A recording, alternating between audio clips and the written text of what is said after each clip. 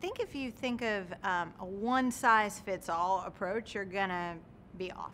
I think at Untuckit, I have people coming from the editorial world making the transition into retail and marketing. I have people coming in from advertising. I have people coming in from performance marketing. I have people on my team that have a strong e-commerce background and they're learning like what it looks like to really scale a business. So I think the key is really personalizing the development plan for the needs of each person versus having one plan that fits all because that's just not going to cut it.